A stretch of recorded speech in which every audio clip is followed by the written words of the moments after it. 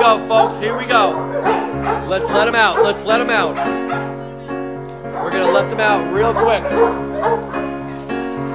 Hold on one second. Oh, here they go. Let the dogs out. Let the dogs out. Oh, he's going the wrong way. He's going the wrong way.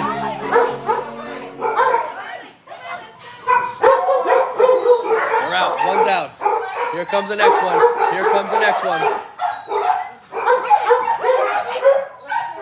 Keep going. Keep going.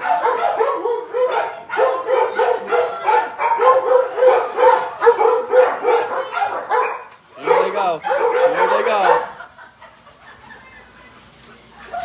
They're out.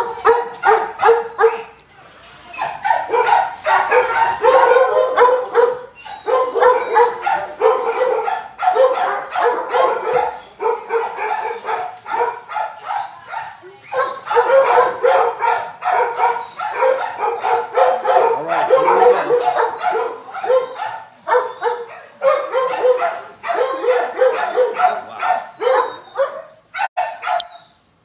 Wow.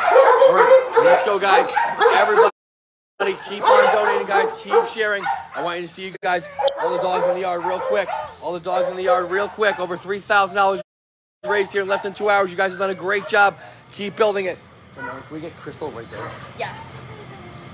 Crystal, come on. I need you right here. what did you just do? Come here, Crystal. Come here, Crystal. I was like, what was that? That's what happens when you're around dogs. All right, Crystal, you guys have raised over three over three thousand dollars in less than two hours. How did they do today, your community? That is amazing. I greatly appreciate it. These dogs, they're they're literally they're the underdogs, and I honestly think they deserve the best. And we're trying, um, even building the new Hope House. That's going to be just for them. They're going to have their own specific turf dog yard. Um, where it's going to be more easier accessible to be in their wheelchair Yep. or be down. Like I was telling you, Ivar, he loves to be down and digging holes like a regular dog. So it is the world to us. And especially, that's will recognize how awesome these dogs are. Yep, absolutely. That's priceless. That's priceless for me. Now, talk, I know you don't want to talk about this part, but why did you start your rescue? Go ahead. I know you're gonna get mad at me for asking that question. So, Kris. So we rescued and we helped other rescues. We were kind of like independent rescuers. We would help foster, we would build things to sell to help them raise money. And then a local rescuer, Ajay, she's originally from Turkey. And she let us know about a young lady named Yoje who was trying to save a thousand dollars on her own. Oh, wow. a. And most of them were Anatolian Italians, and as many people know, I'm like the Kangal lady, I'm the Anatolian lady. But then we started seeing these types of dogs. Ugu came from ah! Danville. She was a tiny baby who was crushed by penury. Right. Koa, she's from Turkey. She was paralyzed as a baby as well on the streets. Somebody did something pretty bad to her. Right. Ivar and Marley and Orion and Pepper Potts and Miles, they're all West Texas dogs. Unfortunately, Orion and Pepper Potts were shot by people as puppies. Bonnie and Clyde that you saw, Yep. they're also from Turkey. Oh, wow. Um, they're special needs. Their back legs don't bend. So they kind of like run off like toy soldiers. Yep. Zeus is right next to them. Zeus had this very odd thing that he was paralyzed but then not paralyzed. And even the neurologist said eventually he would lose his mobility and now that's the where we're at.